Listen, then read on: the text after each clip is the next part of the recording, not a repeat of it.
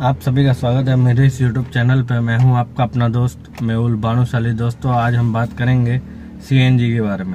Conventional kit CNG CNG दो type के होते हैं। एक तो कन्वेंशनल किट और दूसरा होता है सिक्वेंटल किट और इसमें ब्रांड की बात करें तो मुझे चार ब्रांड के नाम ही याद हैं।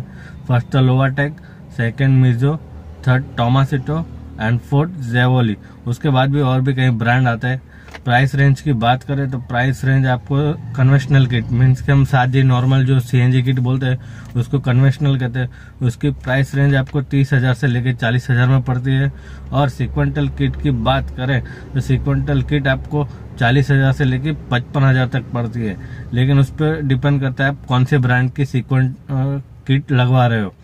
तो बात यह है कि मैंने कौन सी कौन सी प्रॉब्लम फेस करी है सीएनजी में कन्वेंशनल किट में।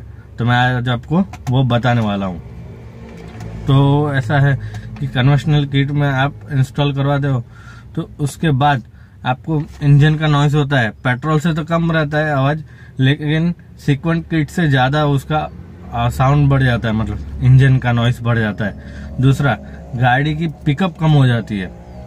पिकअप कम देती है सिक्वेंट किट से और पेट्रोल से। उसके बाद, और सिक्वेंट किट से माइलेज भी कम रहती है इसकी।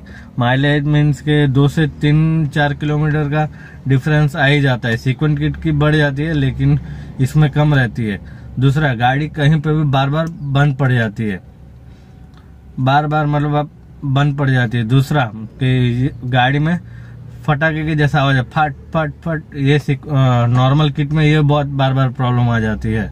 दूसरा, इसके बाद जो हम कार स्टार्ट करते हैं तो फ़र्स्ट फ़र्स्ट इग्निशन में ऑन नहीं होती, लेकिन सेकेंड इग्निशन में ऑन होती है। और अगर आप सिंगल ड्राइव कर रहे हो तो प्रॉब्लम नहीं है। अगर आप चार पाँच लोग बैठ के ड्राइव कर रहे हो तो उतना पिकअप नहीं देती, उतनी स्पीड से नहीं चल पाती। और सबसे बड़ी प्रॉब्लम जब आप हिल पर ड्राइव कर रहे हो पहाड़ी इलाके में अगर आप ड्राइव कर रहे हो तो उस पर भी गाड़ी आपको पिकअप नहीं देती। मतलब उतना वो ताकत नहीं मिल पाती सीएनजी से कन्वेंशनल किट से। और सबसे बड़ी प्रॉब्लम जो है, अगर आप एसी ऑन करके ड्राइव कर रहे हो तो गाड़ी आपकी इतनी दब के चलती है कि पता नहीं चलता। नॉर्मल अगर आप विदाउट एसी चलाते हो तो पिकअप देती है, लेकिन एसी में चलाते हो तो उतनी पिकअप नहीं दे पाती। वो सबसे बड़ी प्रॉब्लम फेस करनी पड़ सकती है। ये सारे प्रॉब्लम फेस की है।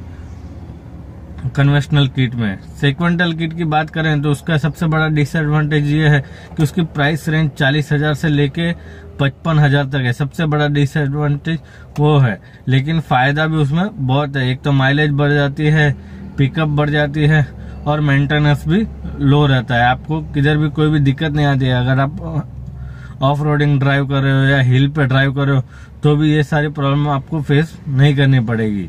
दोस्तों, अगर आपको ये जानकारी पसंद आए तो लाइक, शेयर, सब्सक्राइब ज़रूर करिएगा।